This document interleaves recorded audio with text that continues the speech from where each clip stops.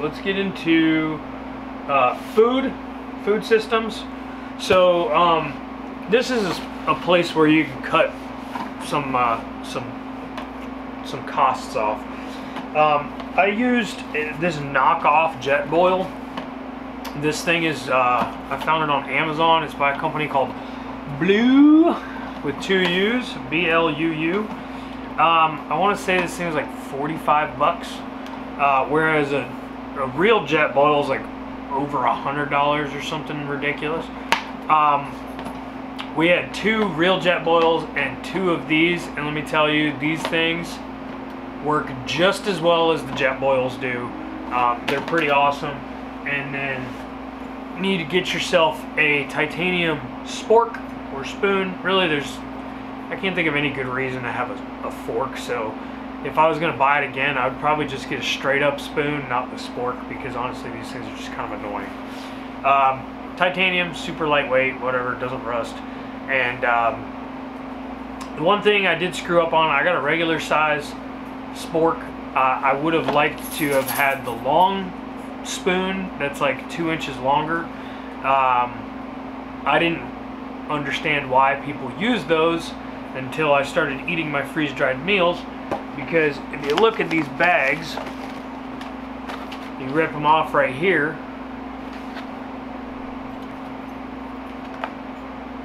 you gotta to get to the bottom of the bag you basically gotta stick your fingers down in the bag.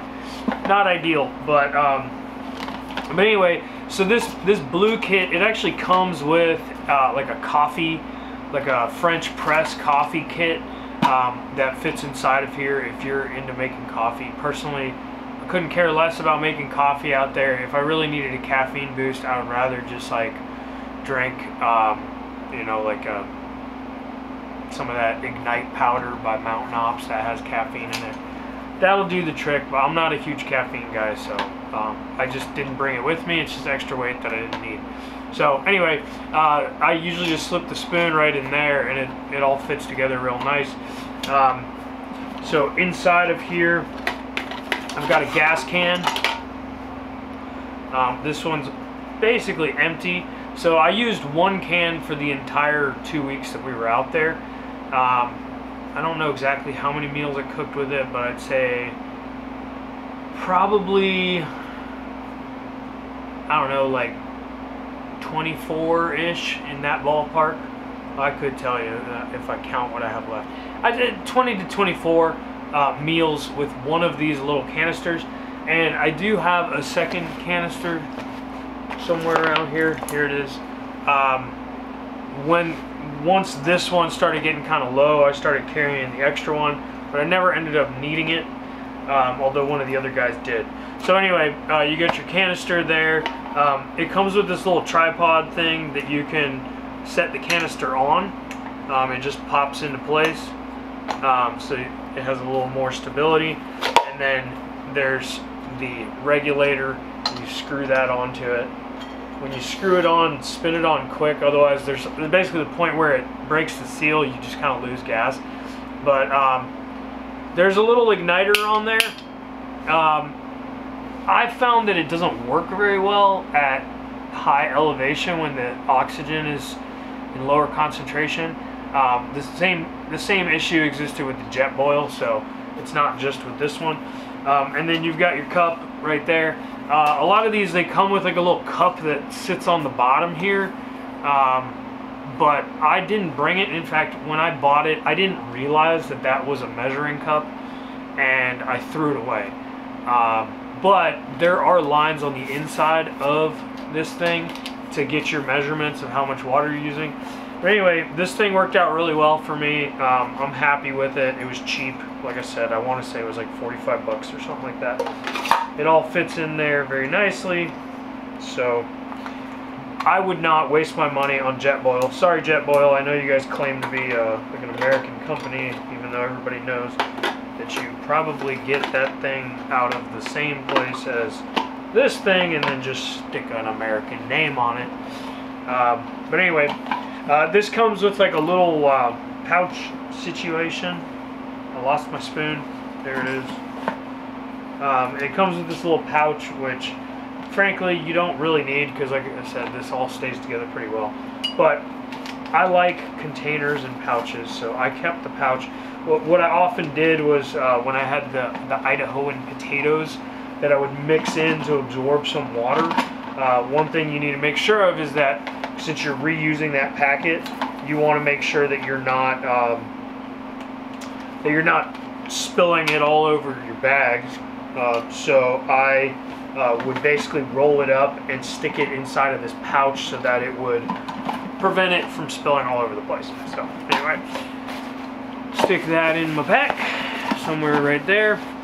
Um, and then my meals, I would just take my meals and just kind of sandwich them between the uh, sleeping bag and the side here and you'd be surprised how many you can fit in there especially considering right now I don't have the um, the vapor pack maxed out. You can extend these uh, little cinch straps here. It's going to give you a little extra space. So basically when I go up the mountain when I had a lot of stuff I would open these up and it just creates a ton of extra space that you can use in the pack. And like I said, I was able to put five days worth of meals in there, and I probably could have stuffed more in there if I needed to, um, but that's uh, like 15 meals. Um, so those went in there. Uh, what else we got? Uh, okay, so then I mentioned before with the sleeping bag that this company makes a uh, like a bag liner, uh, which I think is a great idea if you're sleeping in much colder weather. Um, and Mike was using one in his sleeping bag, and that's fine and all, but personally, uh, I think that this right here is far more effective. These are uh, thermal underwear. They're merino wool. These were really cheap.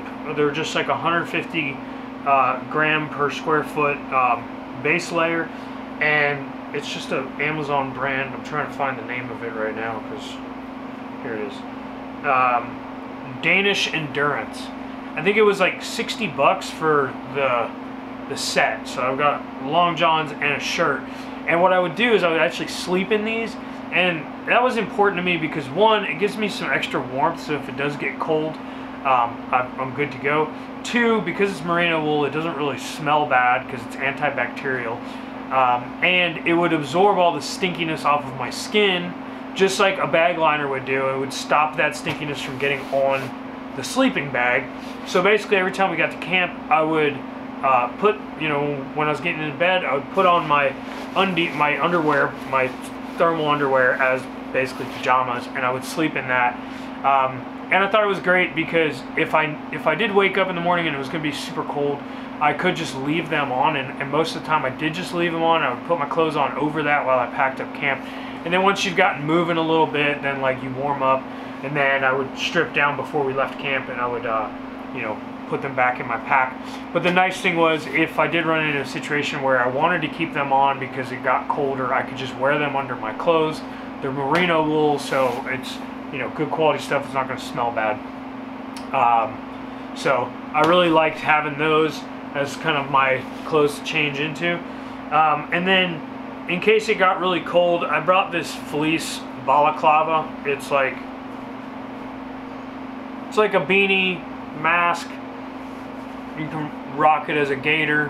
Uh, lots of things you can do with it. Fleece is definitely not the the lightest material, but I had this thing already. It's cheap and it's pretty small, um, and it's not that heavy. And there was quite a few times. I woke up in the morning and it was really cold, and I, I would wear that or at nighttime. Um, so I liked having that in my pack just in case. And I think that sums up, yeah, that sums up everything that I had in my center pouch. Now, we are going to talk about the uh, day hunting stuff. So, um, all the stuff that I have laying around is basically what I'm going to need even when I'm just day hunting. Um, and the first thing I want to talk about is my water filtering system. Um, so I used the Sawyer squeeze filter system, um, and this this worked out really well. I, I really enjoyed it. Um, it's pretty cool just kind of being able to like, anywhere you find water, get some water and you can uh, filter it out. So this, this is the filter right here.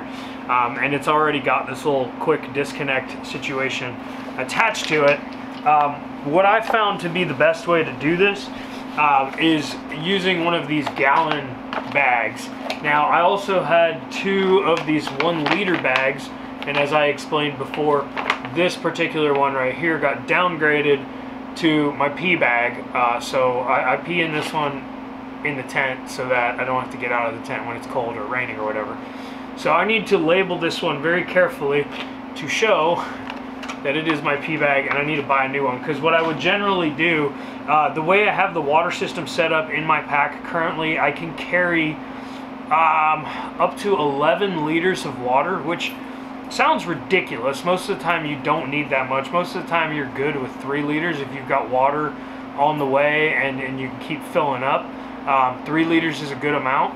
Um, but there was times when we like wanted to go up to the top of the ridge and there was no uh, streams or anything that we could get water from so we basically go to the last point that you could get water and fill up all of the water options and bring it everything up the mountain and it sucked because your pack weighs like 80 pounds when you do that but sometimes that's the only option so um, anyway so the Sawyer kit when you buy it it comes with a few different items and I think mine's missing something uh, which kind of sucks but um, there's like a an adapter uh, that is basically female on both sides.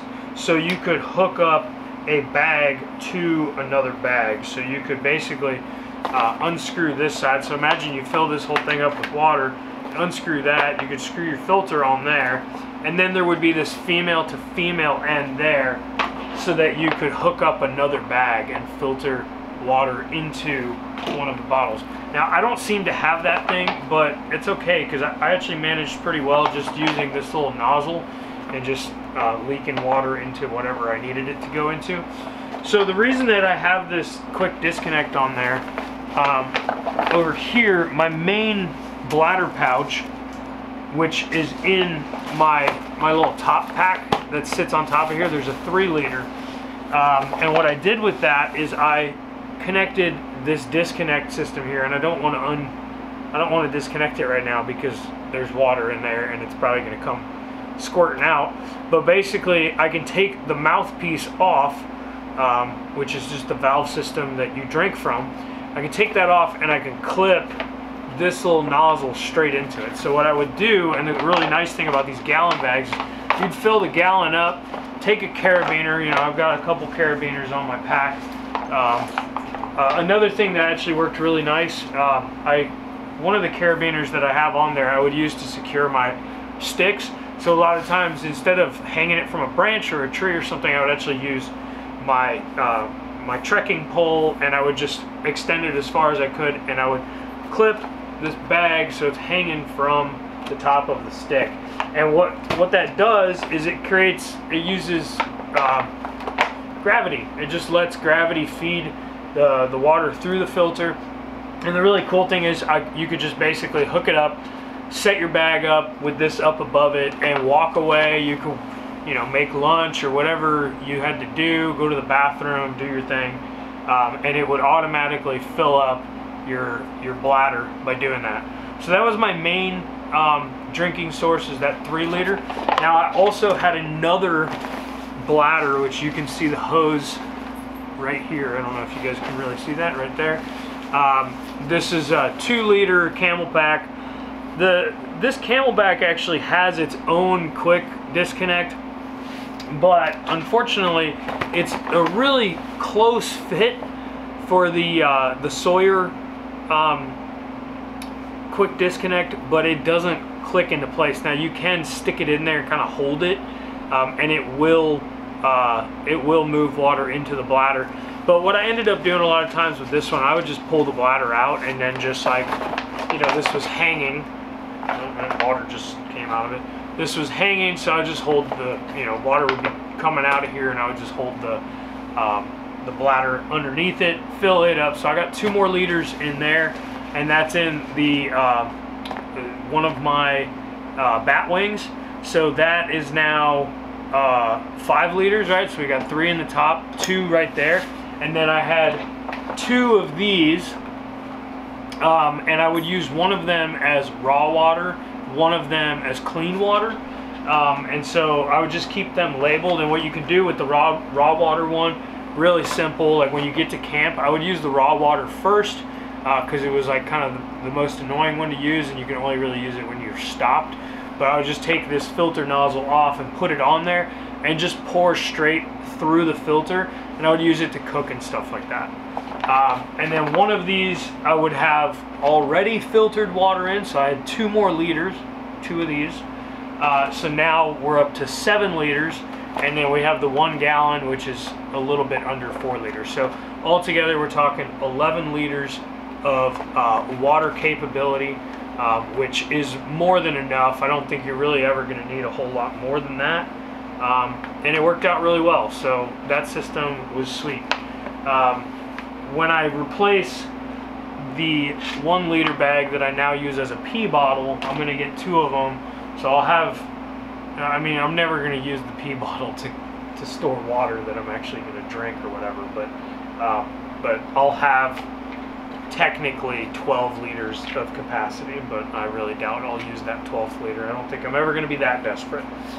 Um, so that's the water system, and I always would keep that in one of the bat wings because regardless of whether you're camping long or if you are just going in for a day hike, you're going to want to have the ability to get water. It's one of the most important things you can have out there. Um, so even if you don't plan on being out there very long, the whole filtration system doesn't weigh that much. Um, it's worth having it with you no matter what. Um, so that goes in there. Uh, this extra gas can that um, that I would carry when the other can was starting to get low, I'll just push that all the way to the bottom of the uh, the Batwing pouch here um, and you could just kind of forget about its existence. Um, then, oh, jump over here. This guy right here, this is one of the items that I saved a ton of money on. This is a puffy jacket.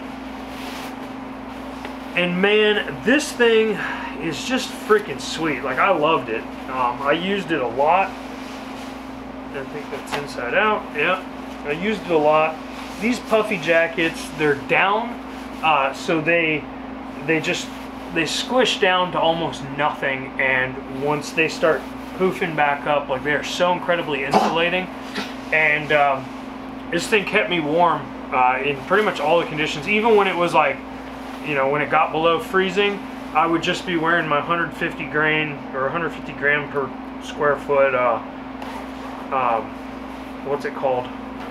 My merino wool hunting clothes, and I would throw this over the top, and I was good to go. Um, it's made by a company called Slow Down, um, and I, I want to say it was like 40 bucks, 45 uh, on Amazon. The only thing that I hate is that this company doesn't make puffy pants, which sucks. Um, because if they did, I would absolutely buy them because this stuff is like super comfortable and it packs down super small. It only weighs like uh, three quarters of a pound, I think, something like that. Um, so anyway, I would always keep this uh, handy. Uh, if you're walking a lot, you start getting sweaty and um, you just you take a little break and stop. Uh, you don't want to get really cold, uh, so I would just bust out my puffy, throw it on while we were taking a break so that it wouldn't get cold and then when we were leaving I would just scrunch it back up and shove it right back into my uh, my batwing pouch. So uh, that was a really handy thing to have. Always ready and available on the side here. Um, another thing let's talk oh actually let me tell you about the other puffies so this right here these are puffy pants. Now I tried two different puffy pants these ones, um, I, I, don't even know what brand they are. I got them on eBay. There's like 10 different ones you can get on eBay. They all look exactly the same. They're all $45. It, it, it doesn't even have a brand. It's just some Chinese crap. Now, it is made with duck down. Uh, I know because I cut it open to check and then I stitched it back up because uh, I didn't believe them because it's incredibly heavy. These are like pretty heavy duty pants and I think the reason they're so much heavier is because the material they use on the outside is just a heavier denier nylon, um, which isn't necessarily a bad thing. They're just going to be more resilient. But uh, for the purpose of what I was looking for, I wanted something really lightweight. Um, and these things were heavy. They're like a pound and a half. They're like double the weight of the jacket. Um, there are puffies you can get that are significantly lighter than this, um, but I didn't find any for that cheap price. These ones, uh, again, they're 45 bucks. If I if it was a really cold time, I would absolutely have brought them, but it wasn't that cold, so they never went up the mountain with me, which is a shame. Um, and so next year, I'm definitely going to be trying to find some puffy pants that I can carry just in case we do have some colder weather. Uh, but that said, it wasn't super cold on this trip, and I never felt like I needed it. Um, the puffy jacket was great. I feel like I lose a lot of heat through the top of my body, uh, but I don't really care too much about my pants. Um, and I'll, I'll show you the hunting clothes that I was wearing. I felt pretty comfortable in those. And on top of that, if I did find myself feeling like my legs were too cold, I could always bust out my thermal underwear that I have in my camp pack and throw that on under my hunting clothes, which would have made me more than warm enough. So that's kind of the reason that I didn't carry puffy pants, and I don't know if I ever really will just for that reason, um, because I think the thermals can do the trick just fine. They're just a little more difficult to put on and off. Uh, anyway, so that's puffies. Uh, let's talk about, oh, this guy right here. This thing's awesome. Uh, this is just a little seat pad. I got this on Amazon. I think it was like 950. Um, it weighs absolutely nothing. It's just like a foam butt pad. Uh, but it is so crucial because one, sometimes the ground is wet and you don't want to sit and get your butt wet.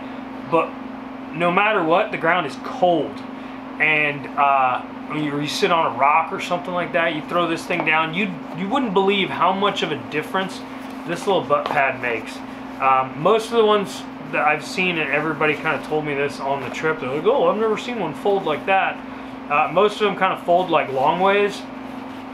Um, this one folds up into a little rectangle like that, and it fit perfectly into the pouches over here. So I'd always have it like, I always kept it right at the top of the pouch right here, so that if we were going to stop and sit down, I could easily just pull it out of my um, my uh, bat wing pouch. Um, so I like those. Get that. It's cheap. It's way cheaper than the Thermarest one, and so there's another spot you can save yourself a little bit of money. All right, let's talk rain gear. Um, so this is a rain fly. This is uh, a Eberlestock rain fly. It's huge. It fit around my pack, fully loaded. Um, it would fit around it with my bow on it as well. Um, doesn't really weigh a whole lot. Come, I came with a little pouch. And uh, as far as rain gear goes, if you know you're going to be dealing with rain, you should probably put it somewhere where it's nice and accessible. But other than that, it's one of those things you just kind of want to have, but don't necessarily need to be able to get to it super easily. So I stuff it all the way down to the bottom of my uh, my batwing pouch. Um, I had, oh, you know what? It's in my truck because I'm in a hurricane right now. Um, I had a simple Columbia little rain shell, super lightweight. Um, it's black. I just already had it, and I was I just wasn't ready to spend any extra money, so I'd already spent a lot of money. I figured if it's going to be raining, more than likely we're going to be hunkered down waiting for the rain to pass. So I was like, screw it, I'll just take this black one didn't spend any money on it, and it was, you know, it wads up into a ball like that, same as that rain fly. So I'd shove that down in there. So I would have uh, rain cover for the top half of my body. I would have rain cover for my pack, um, and I did not get a rain cover for my pants, uh, but um, I was using the First Lite Core Guide Pants. I'll, I'll show you guys those in a second. They have some waterproofing built into them, and I actually I didn't really get that wet. Like they they let some water through, but I wasn't like soaking wet. And um, like I said, most of the time if it's raining, we're gonna hunker down because we like to film. We don't want to hunt in the rain, so we're probably gonna put up a tarp or a tent and sit through the rain. Uh, so I didn't feel like I needed to carry a ton of rain gear. but on the last day, it just did not stop raining, so we ended up hiking down the mountain uh, in the rain, and so it was nice to have that jacket and the rain fly for the pack especially. And then the last thing I carry for rain is uh, these are some boot gaiters, some like knee-high gaiters. I already had these laying around. I like to use them in Florida because uh, I like using low boots because when I'm saddle hunting, uh, they're just a lot more comfortable. There's a lot less, um, they just hold a lot less heat so things stay cooler. And I like to use these for when I'm walking through the mud because they stop the mud from getting up over the top of the boot and then you just have like all this mud caked in your boot. So I had them anyway um, and they'll keep your calves uh, or the bottom part of your legs at least it'll keep it nice and dry when you're walking through like wet vegetation and stuff.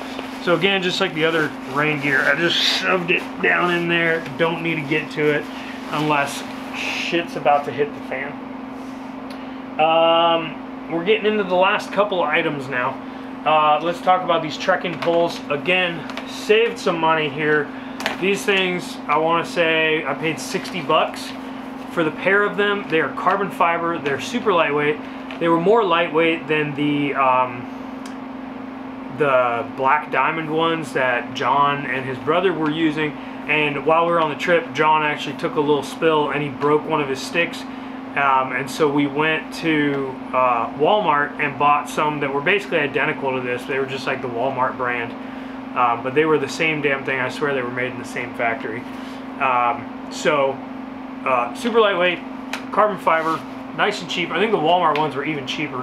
Um, on the end here, there's carbide tips, and it's incredible how well these carbide tips will grip into a rock. It's just like insane.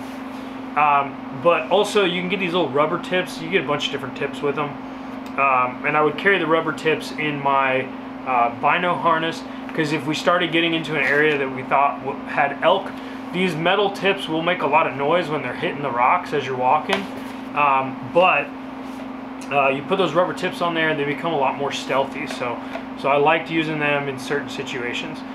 Um, and I will say about trekking poles, don't think that you're too good for trekking poles because these things are freaking awesome. I love using them on the way up and you really want to use them on the way down because going down hurts your joints a lot more. Uh, but the trekking poles make it so much easier. So don't be uh, don't be a loser just use them anyway I'm just moving this top pouch out of the way so the way I would store these on my pack is basically I would just slip them right down um, behind the vapor pack. Anyway I would send that all the way down to the bottom and what I actually wanted with them I wanted them to stick out the bottom here of the uh, the pack like out the bottom of the load shelf because I didn't really want to have anything sticking out above my pack because you're like ducking under branches and stuff so they get kind of in the way. Um, but basically they could technically just fall right out the bottom so I had a carabiner which I attached to some of the MOLLE loops on top of this pack and I would just take the uh, the straps on the handles for these um,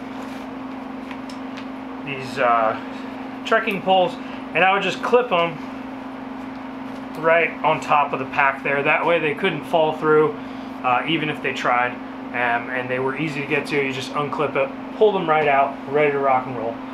Um, oh, since we're talking about carabiners, there's another carabiner that I had hooked onto the bottom right here in the front. And what I would do with those is I would hook on my Crocs or you can do flip-flops you just want to have some comfortable shoes you can take you can put on when you're sitting at camp um, it feels really good to get your boots off uh, when you've been in them all day your feet are kind of wet and sweaty you want to let your feet dry out so crocs are super lightweight they're all foam same with flip-flops so you just clip them and they would just hang on the back of the pack right there um, and that worked out really nicely uh, almost forgot about this when I was talking about my water system. This is just a simple five or half liter water bottle. Um, and you know, I would fill that up with water sometimes if I was like carrying a lot of water in. Just another half liter you can carry.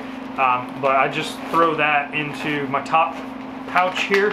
Um, and the reason I carry that is because when I would use my emergency uh, or the, um, what's the stuff called?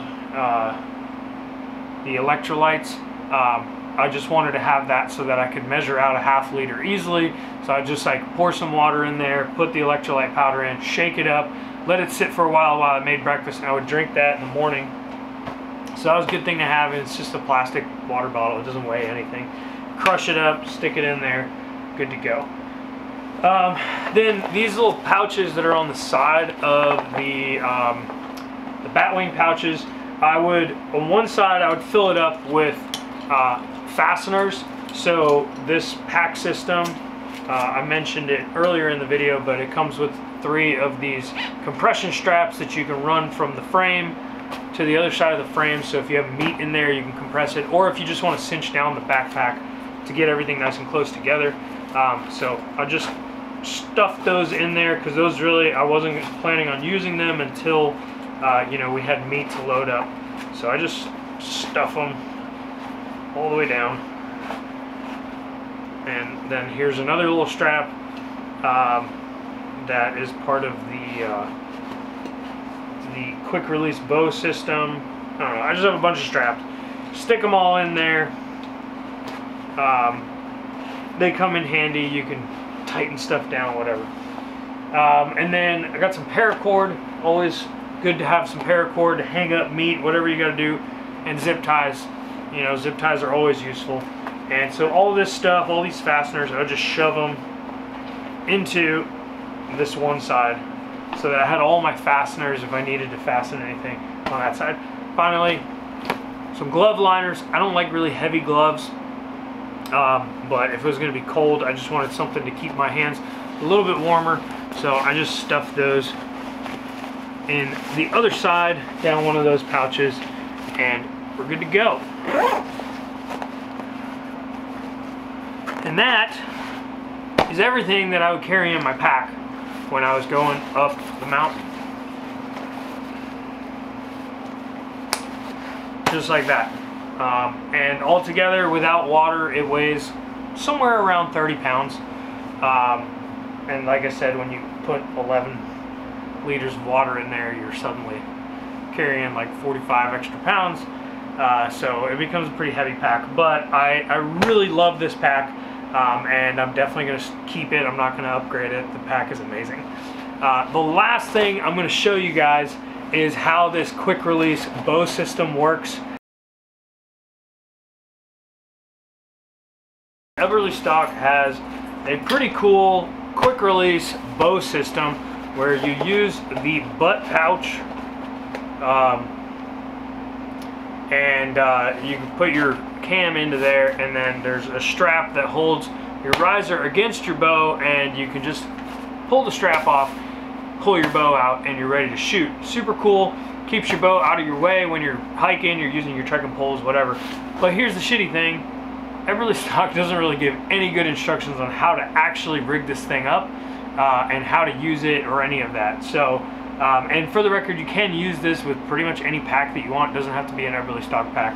So if you have something else and you want to use this uh, quick release system, it works pretty good. Um, another option that you could use is called the Bow Spider, and I actually have two of them. Um, but I didn't end up using it. Uh, and, and I've met the owner of the company, super nice guy, and uh, it, it's a really good product, but it just wasn't exactly what I was looking for. Um, and the reason for that is the thing I didn't like about the bow spider is that uh, if you attach the bow spider right up here, uh, basically it's a locking mechanism uh, where you you have like a knob on your bow and it locks in, and then your bow's just hanging there. Um, and then when you want your bow, you just basically pull it up and pull it out of the locking mechanism. Um, and it works great in theory, but I, I, just, I didn't use it in the woods, so I can't, I can't be 100% sure of this. But one of the things I just thought was going to drive me nuts was the fact that it was hanging from one point, and so I feel like the back of the bow is just going to be like bouncing on my pack the whole time. Now I know you could just throw a strap over it to stop that, and then when you get into like an area where there's more elk around, take that strap off so that your bow is ready to be grabbed. But honestly, I would rather just have my bow in my hand when I get to that point, and um, and with this situation or, or this setup, it keeps your bow attached at the bottom and at the top, so it's not moving around. So I, I just felt like this was a better system. Uh, no offense to um, to the Bow Spider, it's a it's a sweet system, but uh, I think this was just better for my purposes. So I'm going to show you guys how you can set this up. So in this particular case, I've got a F1 mainframe with a Vapor 2500 pack on there, um, and just the configuration I have, it just worked out well to do it like this. So there's two loops on the bottom of the Vapor packs, and I basically ran the MOLLE webbing here uh, that's on the butt pouch um, through that MOLLE webbing down through the MOLLE on the back of the pouch and then I clipped it around the uh, load shelf here. And the reason I like that is because now it's attached at the top and it's attached at the bottom. So it keeps it in a really solid position and your bow can't kind of like move around in there and swing around a lot. So it makes it a really solid uh, attachment point and it creates a cradle that I can stick my tent inside of here uh, so my tent stays on the load shelf and doesn't fall off. So that's the way I decided to set it up, but you can set it up whichever way that you like. This is just the way that I liked it. So the way it works, like I said, you take your bow and you basically protect your bottom cam, you stick it inside of this padded pouch on the bottom, just like that. You can either do it like this so that your stabilizer is on, you know, your bow is upright, um, your stabilizer is on the bottom, or you can uh, flip it upside down. Um, personally, I think I probably like it better upside down because um, when I go to pull it over my head, uh, when I do it upside down like this, it's already going to be the right way up to uh, to take a shot. But anyway, so you you stick it in there, and uh, there's a strap that I attached here somewhere. Pull this thing off. Um, and this strap, you run it around the riser and I'm going to stand this up so you guys can see. So you run it around the riser and down your strap. Um, and this particular pack has like a rubber uh, sort of like guide strap right here that um, you know you use for the uh, you can run your your hydration pouches through it. So I'm just going to use that and on one side I'm going to run it through clip it. So one side just has regular old um, oh I kind of did that backwards. One side has just regular um, clips like buckles and the other side has a quick release buckle. Personally I don't really think it was necessary to use two different buckles uh, because the fact is, when this is under tension, like the regular one, when it's under tension, and you pull it, it's still going to pop out. Um, so either one really works fine, but the whole point of the quick release buckle is this one right here. I don't know if you guys can see that clearly. It has these little wings on it right there. And the way that's designed is that when you push it, it shoots that thing out of there. So that way, but like I said, again, like this is going to be under tension anyway with the other ones. So even if you use the other one, it's still going to pop off and it's fine. Um, but so you attach one side to one side of your pack and then the other one you run down here and it has a little adjustment um, point right here so you can adjust the length of it. So on this side, we'll run it through the same strap on that side and tighten this up like so, and that's going to hold my bow in place on the back of the pack, nice and centered. Um, and you can, you know, you can adjust it, figure out wherever you want it to be, whatever. Um, I'm going to throw on the pack. Anyway, so you can see the bow is on there. It's real comfortable to carry. Uh, here's the problem that you run into, and this is part of the reason that I didn't want to use the bow spider when your pack is fully loaded, you can't reach your bow. So how the hell are you supposed to grab your bow and then unclip and pull your bow over your head? You can't even touch your bow. The only thing I could do right now is unclip. My bow's just going to fall out the back. Well, that's no good either. So what I came up with, which I thought made a lot more sense, was, but unclip one of them. You're holding on that strap. Grab the strap on this side, hand them all to one side, and then just pull up. And now I can get a hold of my bow, and I can pull it out. So the fact that with this system, I had this strap to grab a hold of to pull the bow uh, makes it possible for me to grab my bow even when my pack is fully loaded. And that's why I think this system works better than uh, the Bow Spider. Now, if your pack isn't fully loaded and you don't have a lot of stuff going on back there, then the Bow Spider probably works great and you can probably reach your bow and do this exactly how it's demonstrated on the Eberlestock website. But in this situation, fully loaded pack, which it's going to be most of the time that you're moving, having that strap to grab a hold of, pull it forward, that makes all the difference. So that's how I rigged it up. Works great. Um, think it's a great product. So if you guys want to have a quick release system on your elk hunting pack, think about getting, I, I, don't, I don't even remember what they call this thing. I think it's like, I think they literally call it the quick release strap um, and the butt bucket. Butt bucket, not butt pouch, but butt bucket. Um, so anyway, that's the quick release system from Eberlestock. Hopefully that was helpful to you. And uh, the last video that I'm going to tell you about is my hunting clothes and my boots that I used while I was on the mountain. This one, I just wanted to cover uh, clothing, the things that I was actually wearing while I was out in the woods hunting. Now, before I get into them though, I just want to say that uh, it is really important to bring lots of different clothes uh, for when you're at camp. Uh, and uh, I think it's a good idea to have like your hunting clothes set aside and just bring a lot, a lot of clothes uh, for camp. You know, you want to bring t-shirts, shorts, like extra socks, um, you know, whatever you need to be comfortable.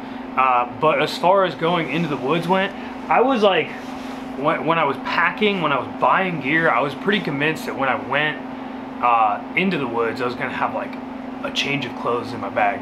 And I can tell you this right now, uh, when you you get up that mountain uh, and you're carrying all that stuff on your back, every little bit of weight that you're carrying that you don't absolutely need with you, you're gonna want to leave it. So uh, with that in mind, you want to have some clothes that are gonna last you the whole time.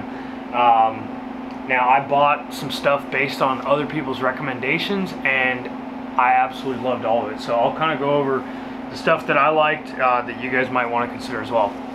First up, socks. Um, there's this great company called Farm to Feet. Farm to Feet. Um, and these are the mid-weight hunting socks that they have.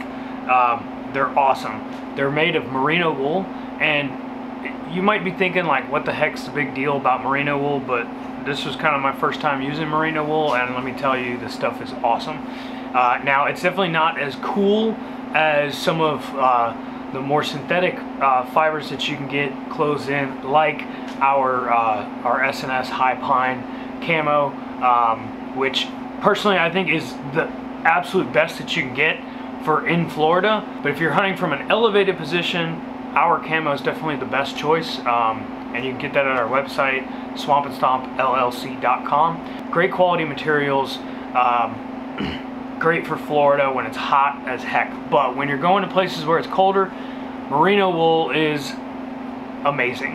Um, it is naturally antibacterial, and bacteria makes it stink.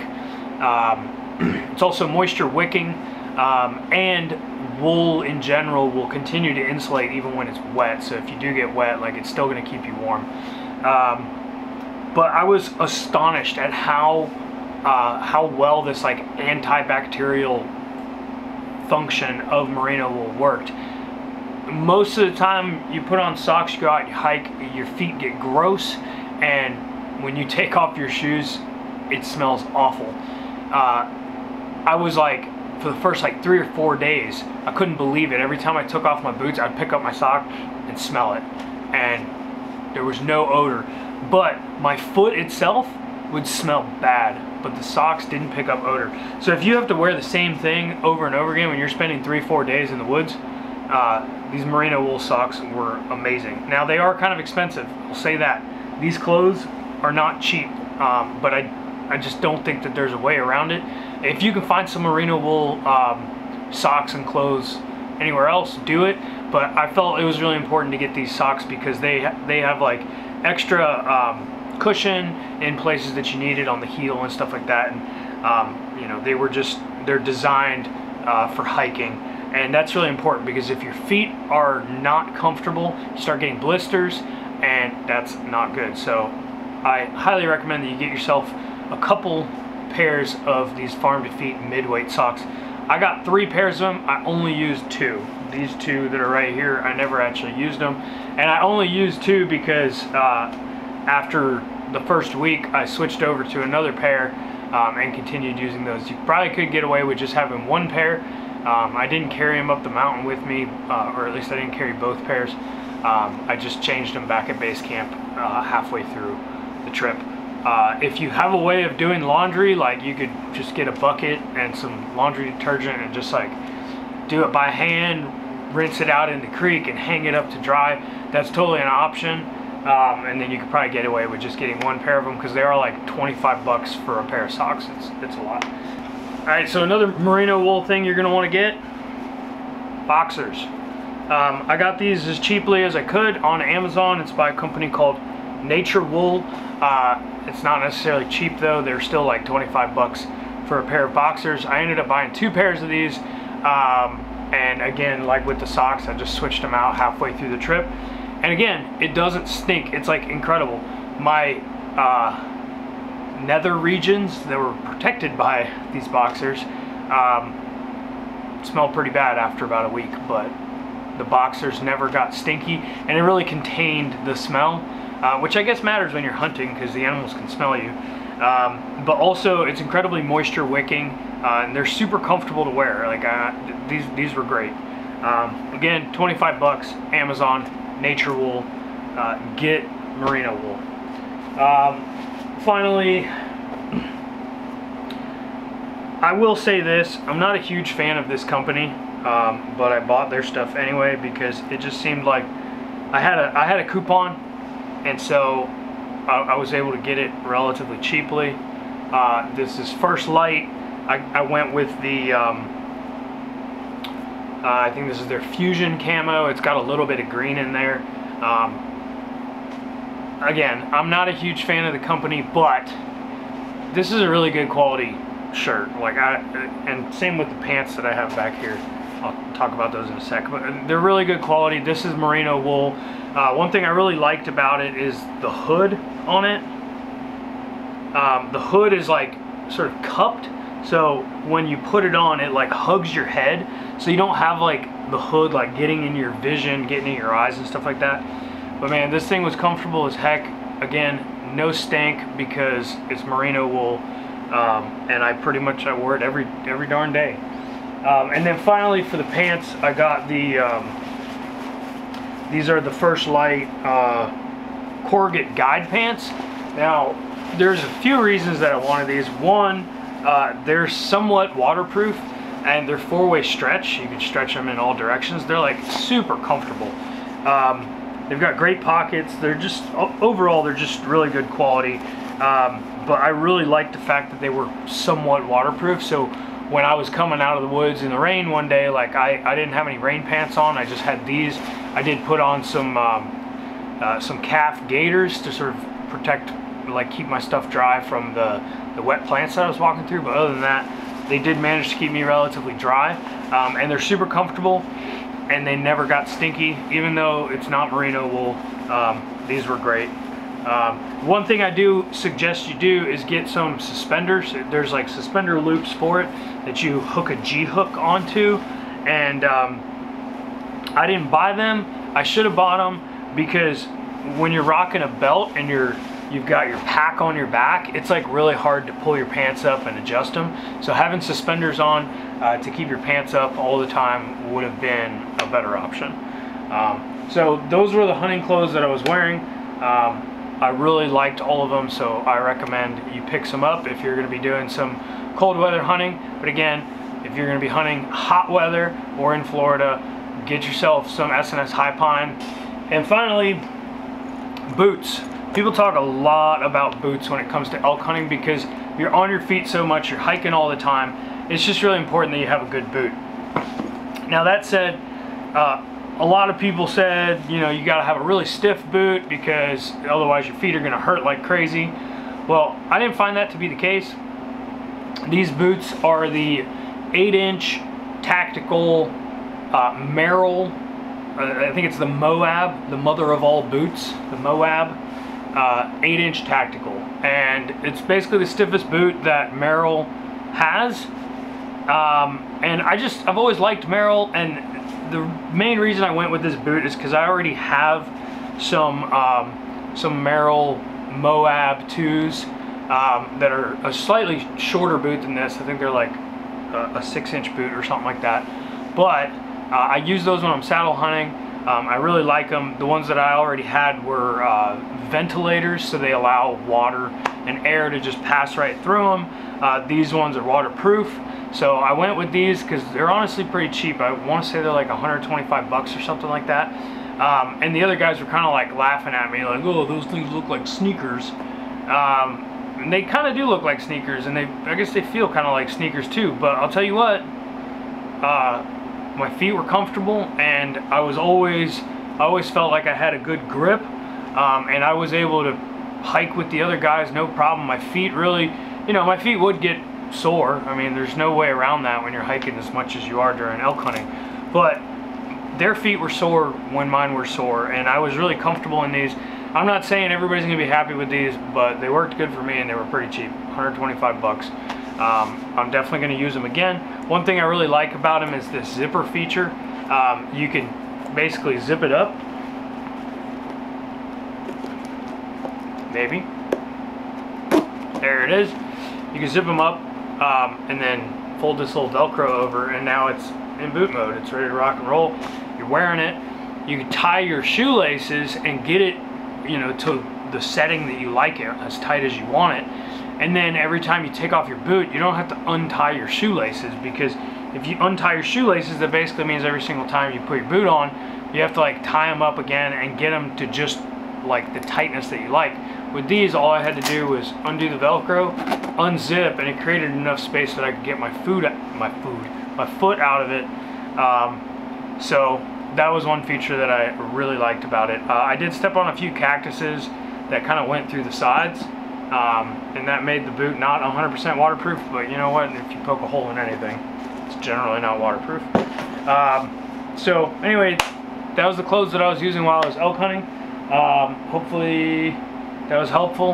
Um, if you are looking for some merino wool stuff and you don't have a coupon to get the First Lite stuff, uh, Skre Gear makes really good stuff as well, and that's actually the brand that I would have gone with if I didn't get the coupon for First Lite. Uh, Skre is S-K-R-E, um, and their their clothing without the coupon was about the same price as First Lite with the coupon, so it's about 25% uh, difference, um, and their stuff's really good. So. Um, I probably am going to buy some of theirs next year, uh, especially if I can find a coupon to get uh, to get it around like Black Friday or something like that. So, anywho, that's all I got on that. Uh, hopefully, you guys watched the whole series of all this elk stuff, um, and hopefully, you found it helpful. Uh, if you got any questions or comments, drop them down below. Make sure that you're subscribed to our channel so that you can get notifications Actually, if you want notifications, you got to click the little bell. If you don't want notifications, just subscribe because it still helps the channel out, just having those extra subscribers, uh, but you won't get annoying notifications. If you like annoying notifications, click the bell. And um, yeah, hopefully you guys do that so you can see when we release the, I don't want to say more fun videos, but the more exciting videos when we actually harvest animals. Uh, we should have plenty more of those coming up this season, so thank you guys for watching, and we'll catch you guys in the next episode. Peace.